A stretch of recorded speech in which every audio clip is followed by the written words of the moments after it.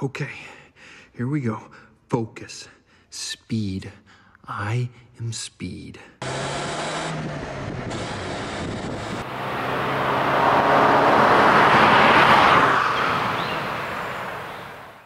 What's up guys, welcome to a new video. Remember to check out these sick t-shirts, dude.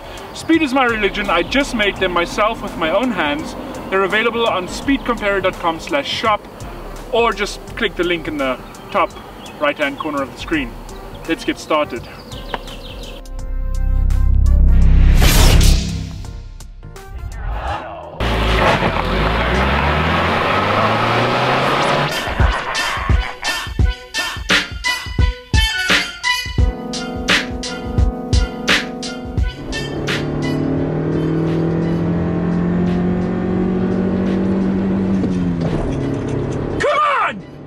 What's up dudes, welcome back to my ride. This is my 2019-99 Honda Logo 1.6. Uh, as you can see this, the front is completely stock. That is because I had no more money because my mom stopped giving me money because I sold her tampons on eBay to get money for meth. Actually just dude, just cut that part out.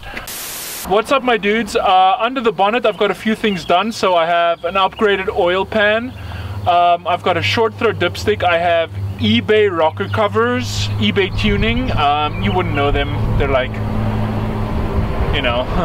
Underneath the exhaust intake, we have uh, cams um, by Fujifilm cam cameras. This here is the uh, 76 millimeter Garrett Turbo. Um, so underneath here, we've got forged internals. Uh, they're made from carbon fiber to be more stable. This over here is our intake. Um, it's made to look stock, but it's actually got a high flow fuel filter inside it, so it's all tuned to run on biodiesel. Um, I'm also running meth, amphetamines. I don't put it in the car, I just take them to make it, you know, feel faster. Uh, but all in all, we're putting around like 150 horsepower at the front left wheel, so it's all good, man. Some serious power figures, dude. So the engine is upgraded and obviously we have to upgrade our brakes as well, which is why I have 89 on the front and 69 at the back and yeah, they grip pretty good. They're made by Nestle, so I mean obviously you would expect that to be good. Okay guys, so I'm going to tell you a little bit about the interior now. So the first thing you'll notice is the radio. That is new. Uh, I swapped it for the old radio because the old one was old and this one plays drum and bass all day long. Right next to that are my mirrors and I have heated outside mirrors. Can you believe technology like that exists, man? That's sick! Heated. Cooled. Anyway, right next to that, above my radio, is the AC controls. Um, the AC doesn't work right now because it needs gas. Uh, I was gonna do that next week. I'm just gonna fill it up with some helium.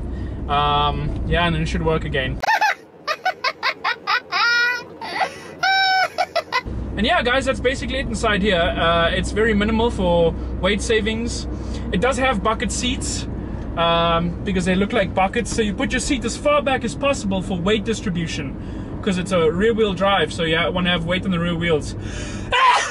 okay, uh, that's only for the racetrack though, so don't do that on the road. That's it from me, you guys. Thanks for watching. Remember, you'll never regret tuning a Honda. Ah, peace out, dudes.